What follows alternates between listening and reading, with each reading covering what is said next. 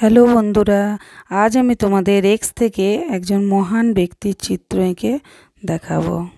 বলো তো কাকে আঁকা হচ্ছে? সো গেস করো তোমরা। প্রথমে আমরা পাতার মাঝামাঝি জায়গায় একটা খুব বড় করে এক্স এঁকে নেব। তারপর এক্সের যে উপরের দিকে যে কোনাটা আছে, সেইটা দিয়ে আমরা দুটো এক্সের মাঝে একটা গোল করে হাফ সার্কেল এঁকে নেব। খুব আস্তে আস্তে হয় সার্কেলটা আঁকতে হবে না হলে আমাদের একটু মানে এটা সার্কেল বলা চলে এটা একটা ডিম্বাকৃতি, অর্ধ ডিম্বাকৃতি একটা। তারপরেই একটা কোন দিক থেকে আস্তে করে একটা ছোট্ট এরকমভাবে শেপ এঁকে নেব বলো তো, এটা কিসের শেপ হচ্ছে? এটা জাস্ট একটা কান তৈরি হচ্ছে হ্যাঁ। ঠিক তার অপোজিট দিকে একইভাবে, প্রায় একই রকমভাবে দ্বিতীয় কানটাও আমরা এঁকে নেব। এবার হয়তো তোমরা কিছুটা আন্দাজ করতে পারছ কার চিত্র হতে চলেছে। দুটো এক্সের মাঝের যে ফাঁকা অংশটা, সেটা দিয়ে এরকম করে একটা অর্ধবৃত্তাকার এঁকে নেব এবং দুটো কানের মাঝামাঝি অংশে এমনি একটা উল্টানো ইউ এঁকে নেব।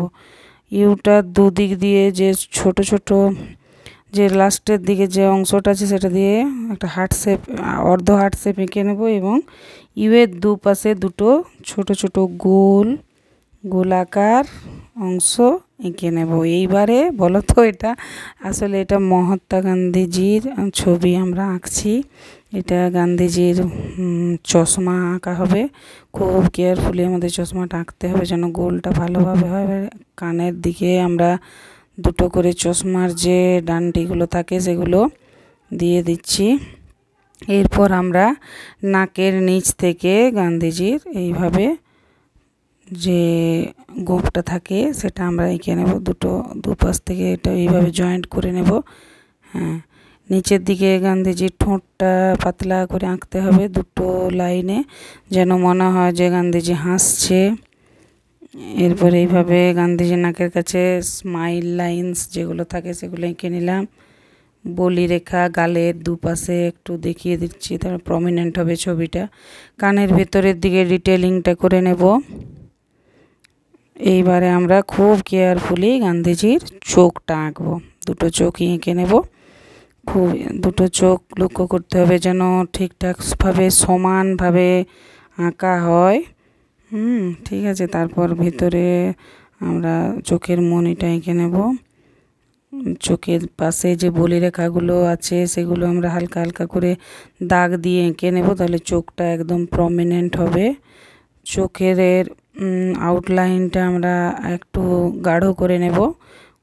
আমরা মার্কার পেনটা দিয়ে। চোখটা তাহলে খুব প্রমিনেন্ট দেখাবে অরিজিনালের মতো।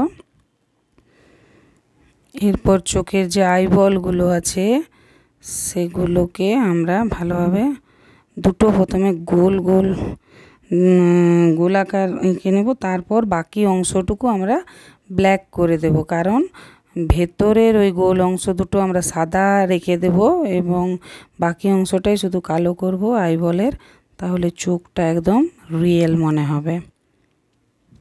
দেখো, মনে হচ্ছে যেন গান্ধীজি সত্যিই একদম আমাদের দিকে তাকিয়ে আছে।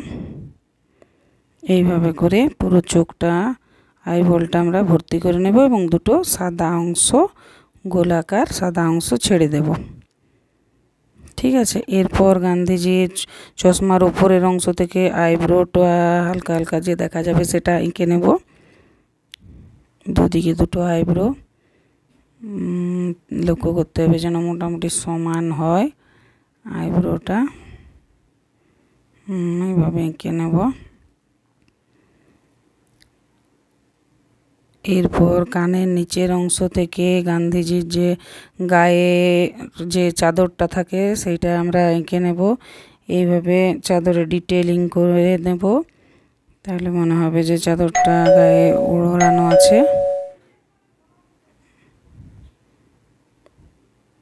এরপর আমাদের এখনও কিছু একটা মনে হচ্ছে যেন কম আছে। গান্ধীজির ওপরে কপালের ওপরে যে বলিরেখাগুলো, সেগুলো দিয়ে দিলে এবারে আমাদের আরও গান্ধীজির ছবিটা প্রমিনেন্ট হয়ে যাবে এবং সুন্দর লাগবে দেখতে। হুম আর খুব সুন্দর হয়ে গেল এবার। এইবার এক্স মানে বুঝতে পারছ এক্স মানে মহাত্মা গান্ধী। ঠিক আছে? তো দেখো আমরা কত সুন্দরভাবে গান্ধীজির ছবিটা এঁকে নিলাম। এরপর তোমরা কেউ চাইলে গান্ধীজির যে গোপটা আছে সেটাকে এইভাবে মার্কার পেন দিয়ে ডিটেলিং করে নিতে পারো। আবার না চাইলে নাও করতে পারো। এভাবে করে দেখাচ্ছি কীরকম দেখাচ্ছে, দেখো। সো আমাদের গান্ধীজির ছবিটা প্রায় কমপ্লিট হয়ে এসেছে। তো তোমাদের কেমন লাগল প্লিজ আমাকে কমেন্ট করে জানিও। আর এইরকম আরও এরকম নতুন নতুন ভিডিও দেখতে হলে আমার চ্যানেলটিকে সাবস্ক্রাইব করে রেখো এবং পাশে থাকা বেল আইকনটিকে প্রেস করে দাও।